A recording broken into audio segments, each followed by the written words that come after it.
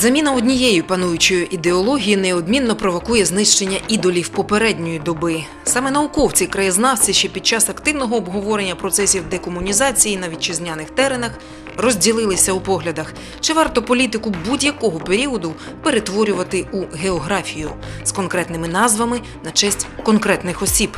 Адже хто як не експерти розуміють, що таке неоднозначність ролі особистості в історії. Во всем этом переименовании лежит опять та самая политическая подоплека. Тут большая печаль. Да, была революция, да, есть война с Россией, а есть еще масса сопутствующих факторов, которые, так сказать, э, подвигли наше правительство, нашу Верховную Раду к процессу декоммунизации. Закон України засуджує комуністичний та націонал-соціалістичний тоталітарний режими. Обидва вони знищили в Україні від 14 до 16 мільйонів чоловік. І творили це конкретні люди. Традиція називати вулиці іменами політичних та культурних діячів розповсюдилась від встановлення більшовицької влади. Серед її представників чимало гідних в лапках прикладів для увічнення пам'яті. Ось, хоча б Яків Свердлов, радянський діяч, голова ВЦВК. До Миколаєва не має жодного відношення, на відміну від Троцького. Той, хоча б у Миколаєві навчався.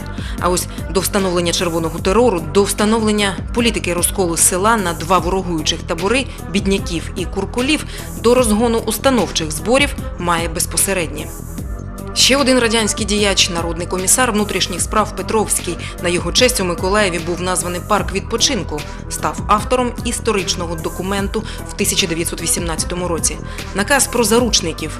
Ним дозволялося радянським органам політичної розправи брати заручників з буржуазії і офіцерів і їх родин. И, цитую, «При малейших попытках сопротивления должен приниматься безоговорочный массовый расстрел. Местные губ исполкомы должны проявлять в этом особую инициативу». І виявляли тисячі розстріляних. Згадаймо слова Мартіна Лацеса про необхідність насилля. Не шукайте доказів вини. Ви задавайте питання, якого вони виховання, якого соціального походження, якої освіти. Це і повинно бути основним для винесення вироку. До речі, ті, хто відстоює пам'ятник чекістам в Миколаєві, може просто поцікавитись архівними документами про діяння цього славетного органу. Це також справи конкретних осіб. Щодо історичних фактів і особистості вже більш пізнього періоду часів Другої світової війни, періоду національно-визвольних змагань на Україні, тут також не все однозначно. І не тільки тому, що певна частина нашого краю негативно ставиться до діячів ОУН-УПА. Справа в героїзації одних і майже забуття інших. Приклад лідери ОУН УПА Степан Бендера і Тарас Бульба-Боровець.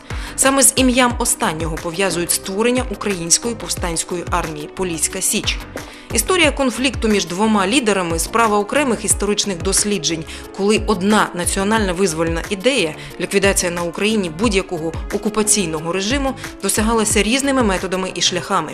Конфлікт між збройними формуваннями Бульби Боровця та Бендери стався через неузгодження питання про політичний центр керування УПА. На думку деяких істориків, у внутрішньому протистоянні перемогли більш жорсткі і безкомпромісні методи боротьби Бандери Шухевича.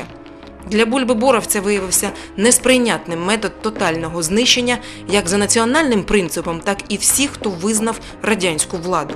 За що ви боретесь? За Україну чи вашу ОУН? За українську державу чи за вашу диктатуру в цій державі? запитував він у відкритому листі від 10 серпня 43-го року керівників бандерівців.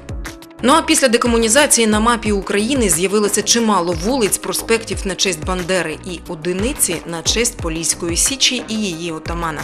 І цей приклад також поле для дискусії про роль особистості в історії.